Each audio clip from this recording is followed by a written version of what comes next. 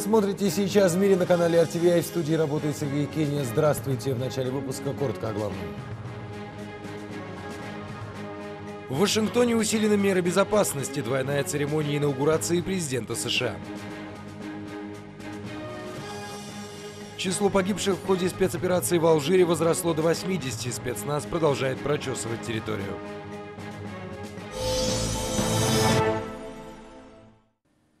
Менее чем через два часа в Вашингтоне у здания Конгресса начнется торжественная церемония инаугурации президента Барака Обамы. Официально он уже вступил в должность на второй срок. Накануне Обама принес присягу на верность Конституции в голубой комнате Белого дома. Присягал президент на семейной Библии, хранившейся на протяжении многих лет в семье его супруги Мишель Обамы. Затем состоялся торжественный прием. Сегодня Барак Обама и вице-президент США Джозеф Байден публично повторят слова присяги. То, что мы сегодня празднуем, это не выборы и не инаугурация президента. Мы сегодня поздравляем друг друга и эту невероятную страну, которую мы называем нашим домом. А после празднования давайте будем усердно работать, как мы умеем, чтобы быть достойными не только нашего прошлого, но и будущего. Да благословит вас Бог. Я люблю вас. Двойная церемония объясняется тем, что день, когда президент в соответствии с Конституцией должен был принести присягу, выпал на воскресенье, а по воскресеньям инаугурационные церемонии не проводятся, поскольку закрыты суды и другие официальные учреждения. Поэтому было решено привести Обаму и Байдена к присяге сначала на частной церемонии в Белом доме и повторить процедуру на следующий день. Подробности о ходе инаугурации президента США смотрите в следующих выпусках новостей на канале RTVI. А мы продолжаем итоги спецоперации в Алжире. 80 погибших. Всего удалось освободить 685 местных рабочих и 107 иностранцев. Напомню, в среду боевики захватили газовое месторождение и жилой комплекс, а также совершили нападение на перевозивший иностранцев автобус, убив при этом двух человек, британца и алжирца. Похитители требовали завершения французской военной операции против исламских боевиков в Мали. Итоги операции подводит Нина Шамуге. Алжирские власти подводят неутешительные итоги операции в Иноминасе. В ходе освобождения заложников, захваченных на газовом комплексе, от рук террористов погибли 48 человек. Арестованы шестеро боевиков. 32 были убиты во время штурма.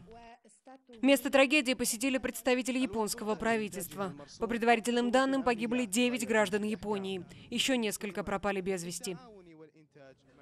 Не досчитали своих граждан и на Филиппинах. Мы сделаем все возможное, чтобы определить местонахождение наших четверых граждан. Вся страна вместе с семьями пропавших надеется на благополучный исход. Сами заложники вспоминают произошедшее как страшный сон. Мы заперлись в одной из комнат, окна заклеили бумагой, чтобы никто не мог заглянуть. Так и прятались до тех пор, пока не посчитали, что все закончилось. Мы слышали стрельбу из миномета, выстрелы, пулеметные очереди.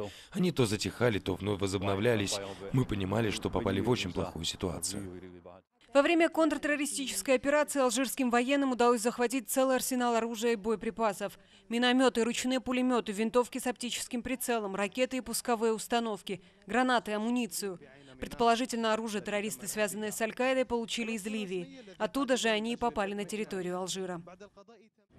Опасность распространения исламского экстремизма и терроризма, сепаратизма туарегов все острее чувствуют соседи Мали. Захват заложников в Алжире – явный признак расширения фронта военных действий и выхода боев за пределы Бамако, уверяют аналитики. Надежды на Блицкрик в Мали тают с каждым днем – Французские миражи не так уже страшны исламистам, которые уходят в горы. А значит, Парижу и союзникам, считают военные эксперты, нужно готовиться к долгой и изматывающей войне. Нина Шамуги, RTVI. Ракеты «Патриот» прибыли в Турцию. Грузовой корабль «Сьюша Сивейс», на борту которого находятся зенитно-ракетные комплексы, прибыл в турецкий порт Искандерун. Патриот, доставленные из Германии, будут размещены в юго-восточной провинции Турции Кахраман-Мараш, а системы, доставленные из Голландии, в провинции Адана. В ближайшее время ожидается разгрузка более 130 контейнеров с вооружением, которое будет размещено в стране по решению НАТО для защиты от нападения со стороны Сирии. Между тем, лидеры сирийской оппозиции не смогли согласовать в ходе встречи в Стамбуле состав переходного правительства. Очередная встреча состоится через 10 дней.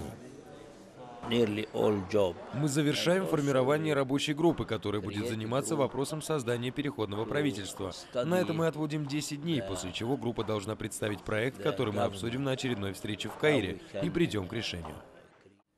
Тем временем в активную фазу вошли учения ВМС России в Черном и Средиземном морях. Рассредоточив более двух десятков кораблей и судов сопровождения по двум акваториям, Генштаб принялся руководить отработкой насыщенной программы упражнений. Задействование в маневрах авиации в том числе позволило назвать учения крупнейшими со времен СССР. Впрочем, в Минобороны пояснили, что нынешние учения плановые. Действительно, намерение направить к Сирии корабли для учений в Москве анонсировали заранее.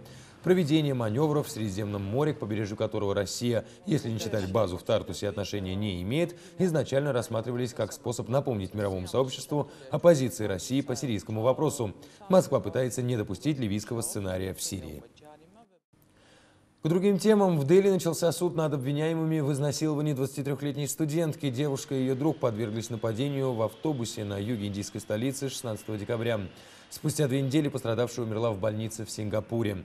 Дело, по которому проходят пять обвиняемых, будет слушаться в специальном суде, который занимается преступлениями сексуального характера. Шестой участник нападения, будучи несовершеннолетним, предстанет перед другим судом. Адвокаты обвиняемых заявили, что полиция силой выбивала показания у их подзащитных. Повышенное внимание прессы и давление общественности может помешать вынесению справедливого приговора, поэтому мы подали прошение в Верховный суд Индии о переносе заседаний из Дели в Южные Штаты. Я понимаю чувство гнева, которое испытывают наши граждане по поводу произошедшего, но насилие – это не путь решения проблемы. Я обращаюсь ко всем гражданам, необходимо сохранять спокойствие. Я уверяю вас, что мы приложим все усилия, чтобы гарантировать безопасность женщин в этой стране. Это были все новости, о которых мы успели вам рассказать. Следите за развитием событий, а я прощаюсь с вами до завтра. Всего вам самого доброго.